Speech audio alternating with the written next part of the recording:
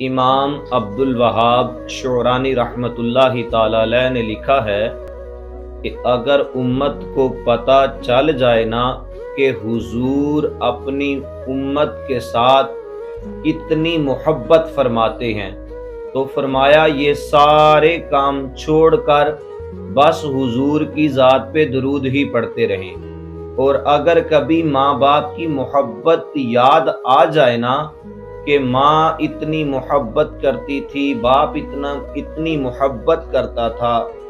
अब नहीं है। तो फरमाया, ये गुंबद खजरा का तस्वुर कर लें। भूल जाएँगे कि माँ बाप कितनी मोहब्बत करते थे। जब अल्लाह के रसूल सल्लल्लाहु अलैहि वसल्लम का उम्मत के साथ ये प्यार देखेंगे ना लोग, हशर के हजूम में गुनागार उम्मती को पकड़कर जन्नत में ले जाने वाली हस्ती को मोहम्मद रसूलुल्लाह कहते हैं।